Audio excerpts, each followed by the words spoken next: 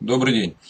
Э, отвечаю на вопрос Вадима Козловского по поводу, можно ли во время э, проблем с сердцем заниматься ходу и насколько это опасно, ведь нагружаться приходится по полной. Принципиальное отличие ходу от всех остальных гимнастик, помимо отказа от внешнего тягощения, это еще и наличие подсознательной регуляции. Э, суть в том, что подсознательная регуляция является настолько совершенной, насколько совершенны являются наши двигательные функции, насколько они востребованы. То есть, если человек никогда не занимался чем-либо, его организм, его регуляция понятия не будет иметь, как реагировать при той или иной нагрузке. Если вы никогда не поднимались на 10 этаж, мой любимый пример, он не будет знать, как себя вести при подъеме на 10 этаж. Так вот, если вдруг вы никогда не поднимались на 10 этаж и нужда вас заставляет это сделать, вполне возможно, что наверху вы получите сердечный приступ. Но в ходу построено по-другому. Если вы этого никогда не делали, вы себя никогда не перегрузите.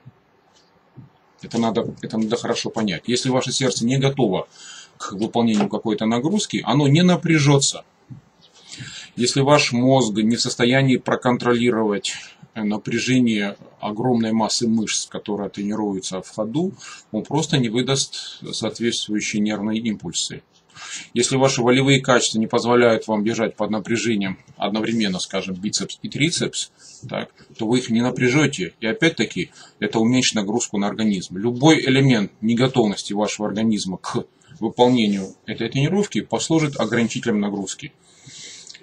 Поэтому вопрос о том, что вы работаете по полной, так, нужно рассматривать только, только с относительной точки зрения. Вы работаете по полной, но ровно насколько, насколько ваш организм способен эту нагрузку вынести.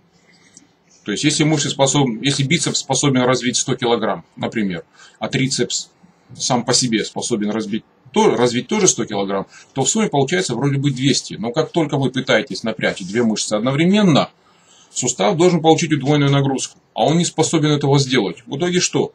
Ваш сустав ограничит нагрузку. Если ваше сердце не способно прокачать вдвое большее количество крови для обеспечения работы этих двух мышц, оно ограничит нагрузку. Если у вас недостаточно гормонов в крови было вброшено для того, чтобы обеспечить работу этих двух мышц, оно ограничит нагрузку. Любое слабое звено, которое есть в вашем организме, относится это к физиологии, либо относится это психическая составляющая, так, оно ограничит нагрузку. Поэтому тут можно не беспокоиться. Естественно, что есть правила. Любая технология подразумевает выполнение определенных правил. Э, если вы их выполняете, тогда все нормально. Если нет, никто вам безопасности не гарантирует. Ну, например, какие-то правила. Это замедленное движение с напряжением. Вы напрягаете мышцы, например, плавно в одну сторону, плавно в другую. Это гарантирует, что даже при проблемной шее вы никогда себе ничего там не травмируете. Вы можете травмировать просто резким поворотом головы.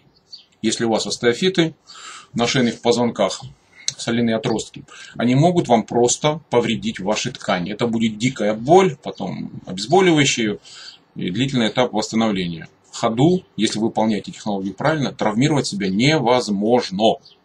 Потому что подсознательная регуляция при здравом отношении к самому себе травмировать себя не дает.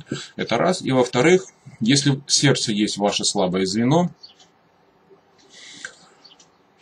то оно будет нагружаться максимально во время тренировки. То есть, если именно оно ограничивает нагрузку, а все остальное замечательно, оно будет развиваться во время тренировки. Вы сами почувствуете, э, насколько меньше вы начнете утомляться спустя, скажем, пару недель тренировок, насколько более работоспособными будете себя чувствовать в течение всего э, рабочего дня. Вот так. Всего доброго. Спасибо за вопрос. Удачи вам.